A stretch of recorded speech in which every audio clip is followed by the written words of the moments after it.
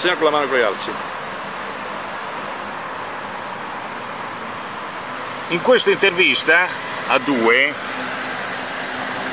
parleremo dei retroscena del secondo conflitto mondiale per quanto riguarda l'Italia. È un argomento assolutamente importante, la conclusione del secondo conflitto mondiale è quello che sta avvenendo in Italia, quale è stato rivelato da tutta una serie di libri di cui consigliamo la lettura ai nostri amici, tra cui l'ultimo è il libro intitolato Doppio livello. E adesso partiamo da, da Piero Baroni che ci illustra tante eroiche gesta di traditori per arrivare poi a, ad altre cose ancora più importanti.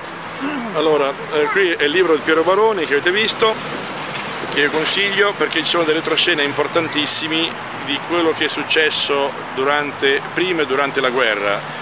Ieri ho avuto l'occasione, ho avuto l'onore di stare dalla famiglia Baistrocchi, cioè il nipote del generale Federico Baistrocchi, che per chi non lo sapesse, dal 1933 al 1936 fu al Ministero della Guerra con eh, incarichi speciali. Il generale Baistrocchi, per chi appunto non sapesse, era uno dei pochissimi generali italiani che aveva un senso strategico e geostrategico diciamo, delle operazioni di guerra da fare eh, assolutamente eh, avanzatissime, eh, anzi era uno dei pochissimi generali italiani il cui livello culturale e intellettuale era talmente elevato che non poteva sfigurare con i migliori cervelli della Wehrmacht.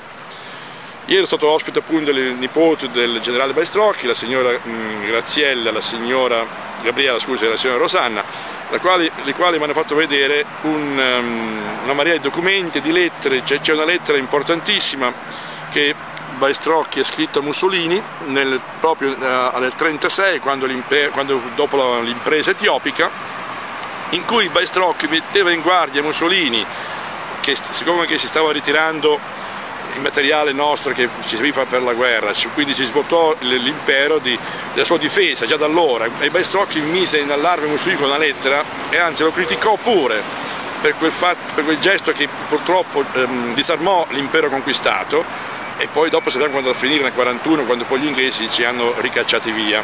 Ti interrompo, ti sì. interrompo con mm. due piccole considerazioni. Sì. La prima mm. è che io ero a quell'epoca, parlo degli anni 40, ero piccolo, mm. però in famiglia ho sentito più di una volta parlare di questo Baistrocchi, tant'è vero che Baistrocchi era un nome che girava molto all'epoca. Sì.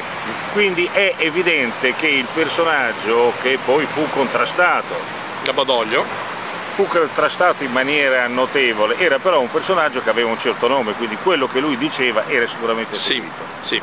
L'altro aspetto, è che, eh, un aspetto mio familiare, perché eh, mio padre andò volontario come ufficiale di fanteria nel 40 in Libia quando si prospettava la nel 39-40 quando si prospettava la possibilità di uno scontro con l'Inghilterra eh, mio padre eh, si trovò con la sua divisione che era la divisione Pavia che poi fu assolutamente annientata a El Alamein si trovò eh, a dover mandare in continuazione delle lettere di reclamo sul non funzionamento di nulla, assolutamente di nulla, non c'erano armi, le armi non funzionavano, era sì. tutta una cosa terribile. Per tutta conseguenza delle lettere che mio padre inviava fu rimpatriato.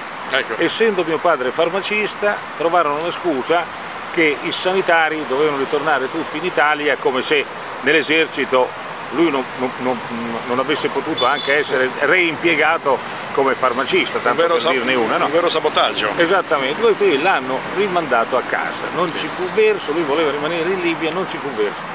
Indubbiamente questa fu un'occasione per cui dobbiamo dire mio padre si è salvato, probabilmente avrebbe fatto una brutta fine come hanno fatto quasi tutti gli esponenti della Pavia, cioè lì questa è stata una, una divisione che è stata completamente maciullata in, quel, in quell'inferno che è stato era la Mensa. Ecco. Queste sono due considerazioni sì. che vanno dette. Ecco. Ritorniamo sulla faccenda. In effetti Baroni ritorna su questo argomento, questo libro tra l'altro è reperibile sul sito www.amazon.it a un prezzo molto molto basso e consiglio di leggerlo perché qui non, non si parla solo di fatti, ma si parla anche di lezione di che significa essere un comandante di divisione o di compagnia o di battaglione o di, o di plotone, cioè, si, cioè, fa capire il livello misero a cui era ridotto il nostro esercito come addestramento, come tutto, volutamente ridotto perché i signori e i loro signori avevano già deciso che noi dovevamo fare una guerra e perderla.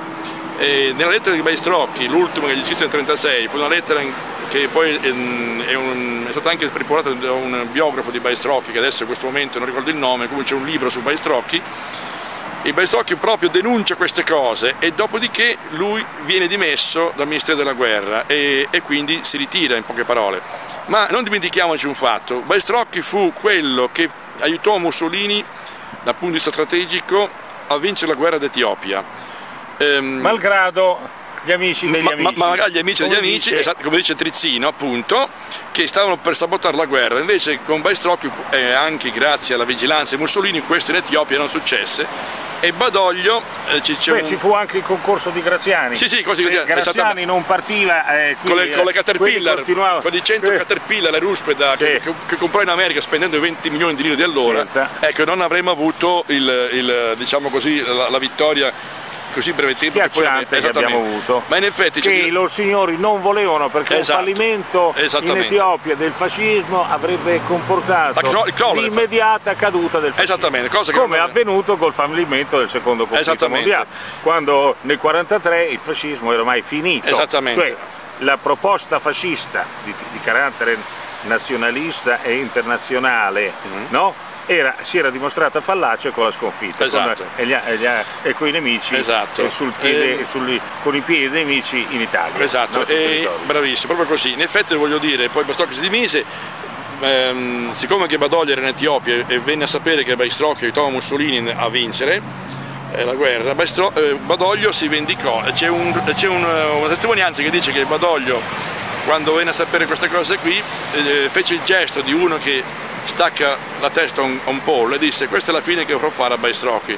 Infatti dopo i poteri forti italioti antinazionali processarono, fecero processare mh, Baistrocchi. Io ieri ho visto gli atti del processo della famiglia Baistrocchi che sta a Roma in via Fratelli Ruspoli ehm, una cosa vergognosa, delle accuse infamanti, insussistenti, insomma il generale che era un uomo d'onore, che aveva un grande senso dell'onore e, e oltre a, a, diciamo così, a essere un comandante vero, ehm, morì proprio di, di, di crepacuore per le umiliazioni che subì a, a, Napoli, nel processo di Napoli, che poi lui, eh, il processo tenne nel 46, però lui nel 47 morì perché ormai era, era un uomo a pezzi, cioè aveva capito che l'Italia era finita, non c'era più l'Italia per cui lui, lui, voleva veramente grande. Ma non certo. dimentichiamoci che il fratello Baist, del generale Baistrocchi, l'ammiraglio Alfredo Baistrocchi, nel 29, quando cominciò a sudorare che non c'era quel rinnovamento, che, che qualsiasi responsabile e cosciente diciamo così, capo di una forza armata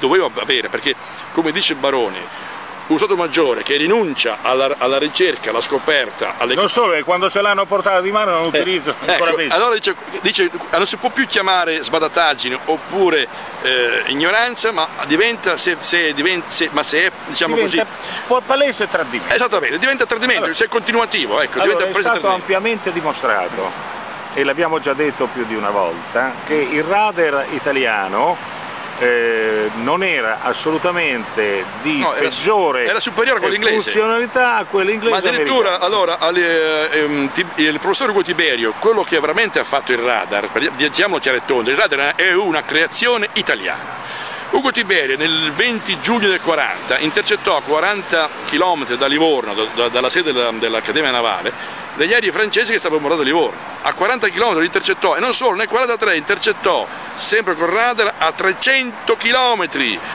eh, una squadriglia di bombardieri americani che stavano venendo in Italia a bombardare. Lui nel, 43, nel giugno 43 li intercettò.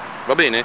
Questo è un dato di fatto, è riportato qui da Baroni con tanto di prove. E questo, guarda, io ti ecco. posso dare un'altra prova, adesso io faccio vedere un ecco, momento. questo qui, questo per dire questo è un simbolo che i romani sarebbero comportati in un'altra maniera. Esattamente, allora, i romani si. Noi abbiamo un esempio che è un po' brutto, che è appunto quello di un regime che si richiamava alla romanità e che poi non ha fatto nulla di quello che diceva che avrebbe preso come riferimento. Cioè, Comunque, andiamo avanti. Sì, questo per dire agli italiani che la memoria storica e, non bisogna mai rinnegarla. I romani, I romani hanno rappresentato il, il massimo splendore dell'Italia imperiale. Certamente. Eh, dove ma abbiamo tracce di romanità esatto, sono rimaste fino ad esatto. oggi in Italia, eh. Purtroppo... eh? ma non tracce soltanto archeologiche, sì, sì, no, anche, anche nella, nella, mentalità, mentalità nella moralità, nel modo di essere, ci sono ancora ci sono ancora, romani Esattamente, però voglio dire... Eh, è un allarme per dire guai a quel popolo che perde la memoria storica. Esattamente. Specialmente quello italiano che ha una ricchezza storica, culturale assolutamente di primissimo livello. Io mi ricordo che eh, cinque anni fa ero in Giappone, alla vigilia di Capodanno, la televisione eh, statale giapponese, la NHK, la Nippon Oso Kyokyai, cioè significa società televisione giapponese, trasmise per ben quattro ore, dicosi quattro ore, dalle sette e mezza fino alle undici e mezza di sera, un documentario eccezionale sull'impero romano, cosa che in Italia io non ho mai visto. Sì, infatti. No, non ho mai visto. Certo. Ecco, e io questo, richiamo, questo, questo, questo Gladio legionario, pretoriano, che vedi qua, è un richiamo a chi ci ascolta a scoprire le proprie radici, a non rinnegarlo e a prendere come esempio. Perché oggi di romano, come dici tu, sì, c'è rimasto purtroppo ben poco, perché se avessero avuto un po' di sangue di questi qua, di romani, l'Italia non sarebbe quello no, che ci è. sono stati quelli sì, sono, sono stati, sono ma semplicemente sono, sono stati traditi. Stati traditi, sono stati traditi. e pugnalati alle spalle, diciamo esattamente come Giulio Cesare. Ieri, ieri andando con la mia amica lungo i fori imperiali ho saputo che addirittura ancora oggi c'è chi a Lady di Marze porta dei fiori, porta dei fiori dove morì Giulio Cesare. Certamente. Eh. Allora io, ti io, fare, io, voglio farti, io, voglio farti, una promessa, te lo dico qui, l'anno prossimo, a Lady di Marzi, io verrò a portare dei fiori con te sulla tomba di Giulio Cesare, Perfetto. sperando che vengano anche altri amici, quindi ci organizziamo, cioè, ricordiamo sempre un gruppo di no, amici. che tra l'altro è stato il primo diciamo così, mm, quasi imperatore, che poi Cesare non divenne imperatore, il tempo. È il creatore, il creatore dell'impero, ma l'imperatore fu suo nipote Cesare Augusto, questo va detto per la precisione, certo. però è stato il primo creatore dell'impero che socializzò sì. Guarda un po', tu che sei romagnolo, lo sai che le, le, quando dopo la, la, campagna di Gallia, cosa fece Cesare? Donò la terra ai legionari. Naturale. Cioè, e quindi ecco perché Romagna, perché deriva da Roma, no? Quindi ecco perché Romagna... Non solo donò la terra ai legionari, ma c'è un altro elemento importantissimo. Sì. Che riguarda non solo la Romagna ma anche l'Emilia. Ecco. Una tradizione eh, che risale appunto alla romanità è stata, tu hai parlato di terra, sì. ed è molto importante, che ha inciso moltissimo sulla mentalità padana e soprattutto degli emiliani, degli emiliano-romagnoli, sì. la Romagna di meno, sì. è la suddivisione squadrata dei poderi, dei terreni eh, lungo la via Emilia. Esatto, l'ho visto anch'io, ma te lo di più, questa tradizione c'è anche in Puglia, se tu vai esatto. in Puglia vedi le stesse cose più o meno, Guarda, questo è bellissimo perché ricorda proprio come i romani dividevano i terreni. Allora, non solo c'è questo, ma c'è quell'altro aspetto, c'è un aspetto, uno, un sociologo che diceva appunto, dice la, eh, la formazione, la forma mentis delle persone che vivono in questi, in questi luoghi è una forma mentis squadrata, cioè molto chiara, molto precisa, sì, sì, proprio così. tanto è vero che quella è anche la patria della meccanica italiana unica nel Beh, mondo. Ferrari dove è nata? Eh, eh, appunto, beh, ma c'è tutto. Baracca dov'è? Eh, tu, tu è romagnolo, insomma, tutti, tutti. il motore è romagnolo, il ballo è romagnolo, eh, insomma la bella vita è romagnolo, speriamoci chiaro. E quindi eh, tutto, ci sono tutta una serie di aspetti che vanno vagliati, vanno presi in considerazione perché sono sempre aspetti molto, molto significativi e molto importanti. Per quanto riguarda il Giappone, sì. direi che concludiamo qui, sì. eh, per quanto riguarda il Giappone, eh, per dire il livello di ignoranza a cui il movimento sociale teneva i suoi giovani, io di recente ho parlato eh, con un ex attivista del movimento sociale il quale non sapeva che durante l'ultima guerra il Giappone era nostro alleato. Eh sì, esatto. Dirti... Vuoi dire l'ultima cosa? Eh. L'ultima cosa voglio dire? Io vorrei consigliare questo libro sì. di Baroni, non tanto per i fatti che racconta, ma lo vorrei consigliare da leggere soprattutto agli ufficiali e sottufficiali del nostro esercito, sia sì. della Marina, aviazione, esercito, per capire, dico sì, per capire che significa essere comandanti, che cosa significa la strategia e che cosa significa soprattutto l'intelligenza e saper guardare oltre il proprio naso. Certamente. Cosa che purtroppo oggi e che in Italia, Italia ricordiamo altre cose che noi abbiamo più volte detto e che riguardano ad esempio sì. ehm, l'aviazione. L'Italia è il paese che per primo non solo ha elaborato una concezione della guerra aerea sì. e questo era abbastanza... Giulio 2, Giulio 2 esattamente. esattamente. Non solo, ma è stato il primo a utilizzare l'arma aerea in guerra. Sì, in cioè Libia. Nella campagna contro, contro i turchi. turchi in Libia, 1911. contro i turchi. Sì. Quindi immaginatevi a che livello abbiamo parlato di radar, abbiamo parlato di aviazione, ci troviamo in questa situazione eh. di merda e questa merda non può essere altro provocato che dai traditori. Esattamente, infatti io ripeto, questo libro qui, come detto prima, bisogna, parla proprio di questo anche, per capire come sia stato volutamente trascurato delle cose importantissima che nessun paese serio avrebbe trascurato, sapendo, sapendo, che comunque era nel mirino, perché l'Italia era nel mirino quando Mussolini andò, andò al potere, parliamoci chiaro, ma era nel mirino non perché c'era Mussolini, era nel mirino perché le idee di, di Mussolini, le idee sociali di Mussolini erano pericolosissime per loro signore. È naturale. Ecco, ecco perché. Quindi qui Baroni, e quindi io Assieme invito... al fatto che l'Italia si trovava nell'epicentro ecco, del Io invito gli ufficiali e sottufficiali delle forze armate italiane, polizia, anche polizia e carabinieri, che poi i carabinieri sono forze armate, non dimentichiamolo, e oltre ai cittadini qualsiasi, di andare sul sito www.amazon.it e trovarsi questo libro. Questo libro deve essere messo, tenuto a casa da ogni italiano come degno di questo nome, insieme come libri di Trizzino, libri di Trizzino e, e, anche altri libri di Baroni sì. che io ho già parlato, che sono importantissimi, ripeto, importantissimi per capire i veri, documentatissimi retroscena del, del nostro, della nostra sconfitta. Attenzione, Baroni non è un politico, questo non è un libro politico, questo è un libro di fatti e di buonsenso se uno legge lo capirà da sé. Quindi ehm, io non voglio fare pubblicità al dottor Baroni perché non, non, è questo, non, non, è questo, il mio intento, ma è una persona onesta che non, ha, che è um, assolutamente uno speculatore, ma ha una grande forte passione per la propria patria, come, come me, come te, come pochi altri, e vuole far capire che cosa è veramente successo e perché. Ci aggiungiamo anche, se eh, penso che sia ancora reperibile, l'ombra di Giuda sì, di Pietro Caporilli. Caporilli. Ecco, però se l'ombra di Giuda Caporilli e di Trizzino, Nove Poltrone, Settembre Nero e gli amici dei, dei nemici, come anche Traditore in divisa, sì. ma come anche uh, altri lavori di Baroni, non dimentichiamoci, La patria venduta, uh, La fabbrica della sconfitta, I conduttieri della disfatta, La vittoria tradita, eh, La guerra del radar e 8 settembre il tradimento, che sono libri che si possono trovare anche in rete tra sì. l'editore eh, Settimo Sigillo e l'editore Greco e Greco, sono libri che chiunque, qualsiasi italiano che vuole capire la propria storia e perché siamo arrivati a questo punto, che li dovrebbe, li dovrebbe tenere nella propria biblioteca o quantomeno come libro di punto di riferimento perché eh, specialmente poi il libro principale che poi è dato là a tutti, non dimentichiamoci che è stato quello di eh, del grande Pietro Caporilli, ripeto, gran sottolineo, l'ombra di Giuda che lì veramente i conti quadrano, come poi dopo c'è Trizzino, sappiamo che Trizzino poi nasce da lì, no? nasce da lì perché quando ci fu lo scandalo eh, che mh, Caporilli scoprì che l'ammiraglio Maugeri, per chi non lo sapesse, era il capo dei servizi di formazione militari durante la guerra. Dal e che fu carceriere di Mussolini anche, alla Maddalena. Sì, e che poi scrisse anche un libro su questo fatto. È una bella faccia di puntini di merda. Puntine, esatto. Eh, ebbene, mh, eh, Caporilli scoprì che mh, Maugeri in America pubblicò un libro in inglese, sì. From the Ash to the Disgrace, cioè sì. dalle cene di disgrazia. E non cui... è nemmeno il coraggio di pubblicarlo in lingua esatto, italiana, non, maiale. Esatto, si con vergognò. Tutta, con tutto il rispetto per i maiali, sì, ovviamente. Esatto, un maiale maledetto, e si, e, e si vergognò di far tradurre quel libro in italiano. E lo scoprì Caporilli tramite suo amico in America.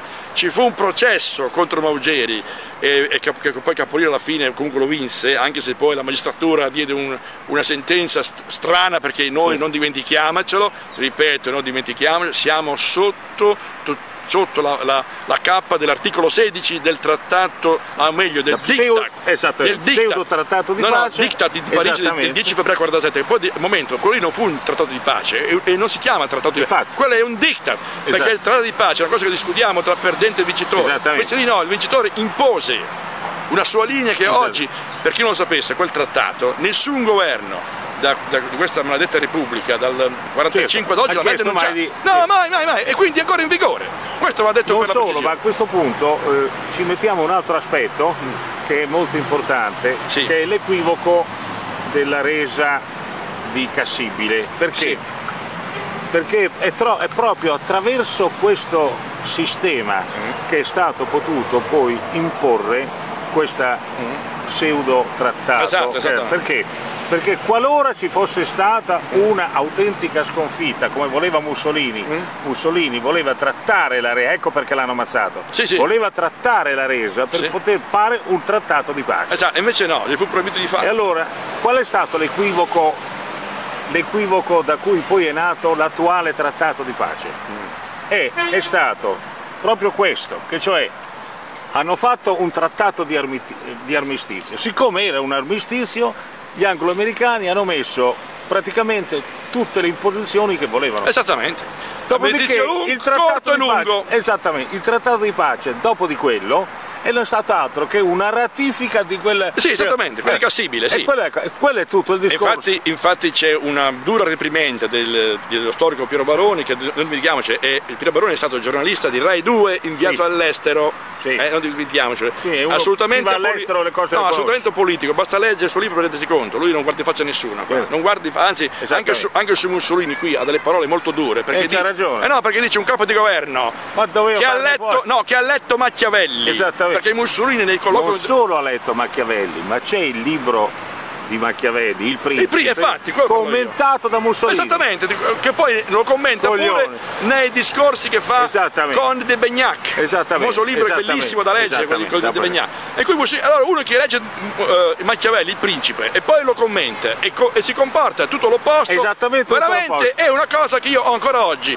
con tutta la stima che ho per lui, per quello che ha fatto per l'Italia, ma però non posso capire questo comportamento perché è una cosa da, che ti fa diventare pazzo, cioè tu non riesci a capire il perché. Anzi, se qualcuno che ci ascolta ci desse una spiegazione su questo suo comportamento o quantomeno no, no su questa sua perdita di concentrazione, perché lui comincia la seconda guerra mondiale, Mussolini, e non è concentrato come la guerra d'Etiopia. Guarda che cinque anni prima con l'Etiopia, era concentratissimo, richiamò. Invece qui ha fatto un'ipotesi di una particolare malattia. Ma no, ma, no, invece sì, ma la malattia no, fu, fu, smentita perché il dottor esatto. Zaccaria, quando sì. Mussolini era al nord a Salò, gli fece una visita e lo trovò perfetta, e lo, lo guarì da un, da un bruciore di stomaco, non era ulcera, sì. era soltanto una questione Beh, psicologica o di farmaci che pigliava prima. Più, cioè, ma più, più più, infatti, più rovina di infatti, così, a, uno... a, a, chiunque gli sarebbe sì, ma infatti, un casino, bravo, certo, a certo. chiunque gli sarebbe venuto infatti, l'ulcera. Come no, altro che comunque c'è un libro di, bellissimo di Gheorghi Zaccaria, il medico curante certo. di Mussolini, che non dimentichiamoceli, lo mandò Hitler, certo. ecco, si intitola Mussolini si confessa, editore Garzanti, poi è stato pubblicato anche dalla Bur Mondadori. È ah, un libro... è stato ripubblicato? Sì, dalla Bur di Mondadori. Ah, sì otto anni fa, ancora, ah. comunque si trova ancora in, in ah, internet, ripeto, Gheorghi Zaccaria, Museo di Confetti, è un libro da leggere, soprattutto il capitolo Il biosocialismo. Sì. Lì c'è la chiave perché scoppiò la seconda guerra mondiale. Indubbiamente. Praticamente la seconda guerra mondiale è scoppiata per Mussolini perché lui non faceva intralazzare i grandi, i grandi magnoni che oggi ci, ci mettono lo spread e, e lui, perché il nemico numero uno dal punto di vista politico non era Hitler Esattamente. Che anche lui era pericoloso, ma era Mussolini. Era Mussolini quello che andava più prima di Hitler eliminato. Hitler sì, era, era anche lui pericolosissimo però signore, perché sappiamo cosa ha fatto Hitler in Germania. Fatto in Germania ha, nazio- sì. ha nazionalizzato la Reichsbank, la banca del Reich tedesca. Certo. E quella fu la causa principale che esatto, fece scappare. Però, però Mussolini era pericolosissimo anche per altro motivo. Aveva dei carteggi, oltre non solo quello di Churchill, certo. ma quello di Stalin e Roosevelt. Che ancora oggi alcuni storici stanno indagando che sono i cassetti chiusi a chiave perché molti, molti no, di questi in Vaticano. In Vaticano esattamente, ma poi bisogna dire una cosa che eh, molti questi documenti sono in America, non li fanno vedere, e questo l'ho avuto prova anche sì. David Irving l'ha detto, ma eh, diciamo che eh, io quando parlai con lo storico Franco Bandini nel gennaio 2002, me lo conferma anche lui e mi disse tu tirati indietro il carteggio Mussolini Church che si può intuire cos'era ma quello che conta disse è il carteggio Mussolini Stalin esatto. e oltre con Roosevelt, che lì ci sono delle chiavi molto interessanti. Non dimentichiamoci per, per ricordare che Vittorio Mussolini, quando nel 1937 fu fondata Cinecittà, tra parentesi Cinecittà è stata la Hollywood esattamente, lo è stato in Europa. negli anni 60. Sì, esattamente, non dimentichiamo dei grandi film prodotti a Cinecittà. Ecco, Vittorio andò in America. Certo, e quando era... Roosevelt seppe che andò in America, che Vittorio, il figlio di Duce era in America, lo chiamò a Casa Bianca per un primo colloquio, proponendo a suo padre di incontrarsi nell'Atlantico. Mussolini rifiutò ma perché rifiutò perché secondo me lui sapeva il motivo per cui doveva essere invitato, cioè lì era presa per i fondelli, cioè perché loro volevano colpire le forze dell'A solo una volta, prima la Germania e poi l'Italia, no?